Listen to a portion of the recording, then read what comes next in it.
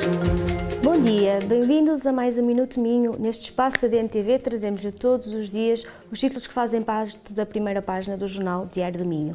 E na edição de hoje, dia 28 de julho, faz manchete o combate à habitação indigna por parte dos Conselhos de Vizela e Favo. A Câmara de Vizela entregou as primeiras casas novas a famílias carenciadas do Conselho, enquanto que a Câmara de Favo assinou o protocolo de colaboração no âmbito do programa Primeiro Direito com o Instituto de Habitação e Reabilitação Urbana. Também em destaque, mais abaixo, a inauguração do Portinho de Pesca em Apulia.